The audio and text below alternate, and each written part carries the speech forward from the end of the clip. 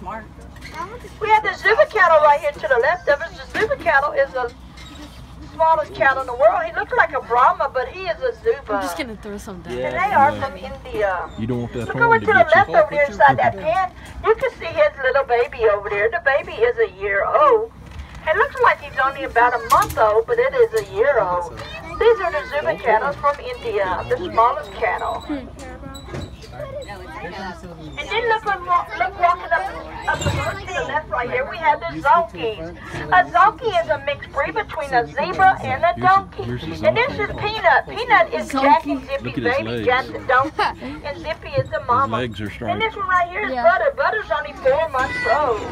Half donkey and half zebra.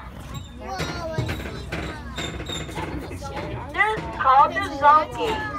That's And this is Zippy the zebra. Zippy is a Grant zebra from Africa. She is black and white.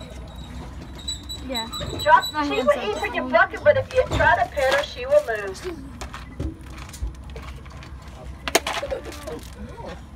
Oh, Diddy, she cracked your bucket. Yeah, she did. Woo, Jack, where you at? She cracked it. Come here, Jack.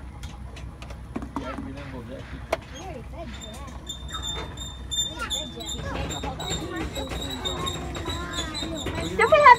Watusi right here beside the little Zuba cow. The Watusi is the largest cattle in the world, has the largest horns of any animal, and the only animal has blood flowing through its horns. If he was to crack his horns, he would bleed to death, but we got him help.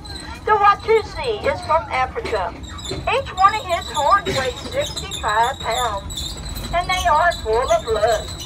Then we're going back here, we're going